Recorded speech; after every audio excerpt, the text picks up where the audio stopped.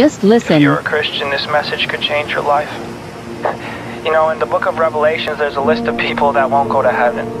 And on this list, there's all types of people that you might expect to be on there. There's the sexually immoral, the, the thief, the liar. But there's one person on this list that I never really noticed, I never thought about, and that person is the coward. And God says the coward will not inherit the kingdom of heaven. And I started to think about my own life, and I started to realize I'm a coward. When was the last time I just went up to someone and shared the gospel with them? I don't know. I don't do that because I'm scared. I'm a coward. I'm scared of what people are going to say about me. And, you know, I think that's a lot of Christians. We say, oh, I'm unashamed of Jesus. But then when it comes time to actually share the gospel, we don't do it. We cower away because we're not brave. A brave person isn't someone who's not scared. A brave person is someone who's scared but does it anyway. My prayer tonight is that Christ gives me the strength to do it anyway.